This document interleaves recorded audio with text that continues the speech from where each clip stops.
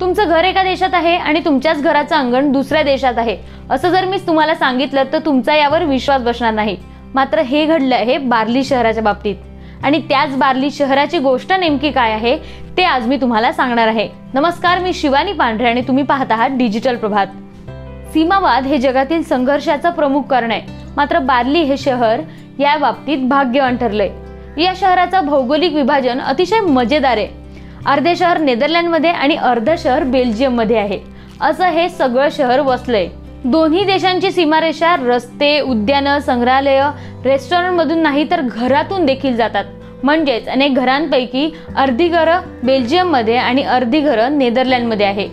गमतीची गोष्ट अशी आहे की हे विचित्र विभाजन असूनही हे शहर अगदी आनंदी आहे. कारण सीमारेषा सुद्धा येथील पर्यटनाचा एक महत्त्वाचा भाग आहे. दोन देशांमध्ये विभागलेले घरं गल्ली आणि रस्ता पाहण्यासाठी पर्यटक येतात. त्यांचे फोटोज काढतात. ते सोशल मीडियावर टाकतात सुद्धा. लाल विटा आणि स्वच्छ रंगाच्या या शहराची एक गोष्ट अनोखी आहे.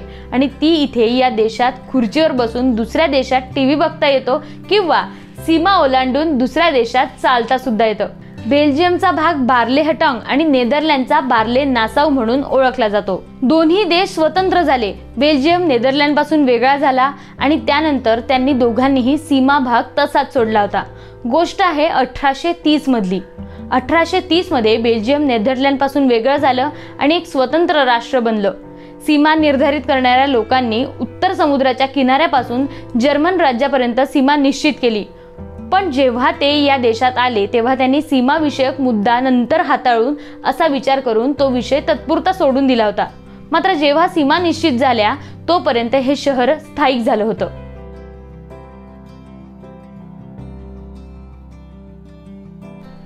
आता दोन देश म्हटलं तर त्या दोन्ही देशांचं नागरिकत्वाचा एक मोठा प्रश्न होता.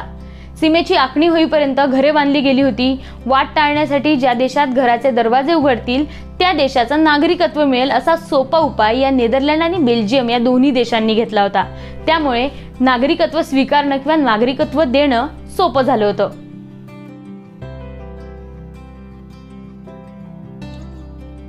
बार्लीमध्ये दोन महापौर दोन नगरपालिका दोन टपाल कार्यालये आहेत. मात्र सर्वांवर एक नियमक समिती स्थापन करण्यात आली आहे जी परस्पर सहकार्यानं समस्या सोडवली जाते.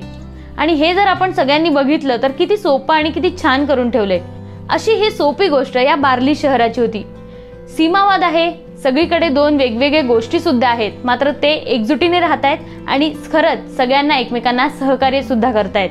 यासारख्या जगातल्या गमती जमती जाणून घ्यायच्या असेल किंवा गमतीशीर गोष्टी ऐकायच्या असेल तर आमच्या चॅनलला नक्की फॉलो करा. धन्यवाद.